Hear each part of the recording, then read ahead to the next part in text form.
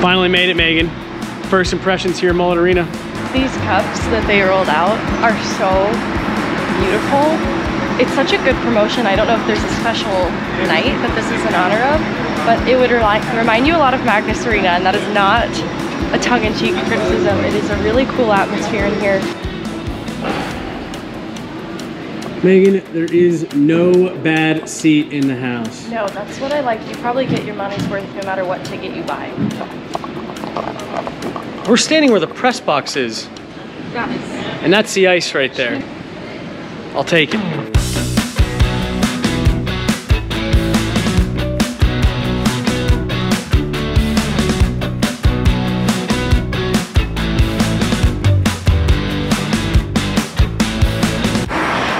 Is that the two?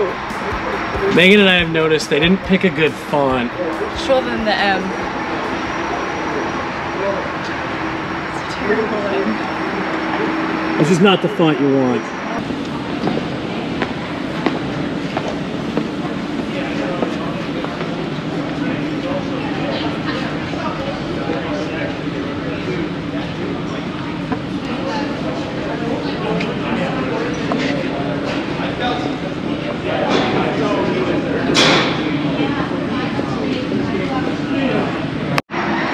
This is the view from the press box here at Mullett Arena. We are right in the middle of everything. We got a great view of the ice. Uh, there's seats right in front of us here.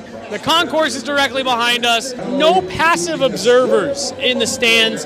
Everyone here is engaged. Everyone's watching. Everyone's into it. There is something about being in a venue of this size, the intimacy, to get to see uh, an, an NHL game here. Really, it, it's it's really cool.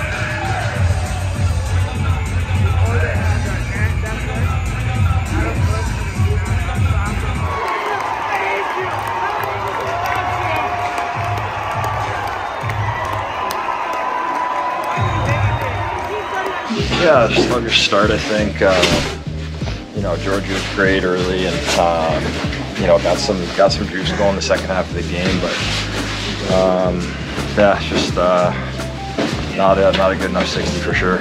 Uh, Jared Bednar, I thought, kind of summed it up best with that last answer there. We asked about Georgiev, and he said, probably like the rest of the team, wasn't quite good enough. Uh, not quite good enough, I think, is the story of this one for me. It definitely looked like I wasn't watching the Avalanche tonight for probably a couple reasons. Right. but just happy to be here. Glad I got to experience it. Yeah. Evan Rodrigues says this is one they just have to hit reset on. And I think we also just need to reset this travel and we'll take our losses where they happen. Jesse Montano, Megan Angley out here in Arizona. Hopefully we get home tomorrow. Hopefully we get home tomorrow.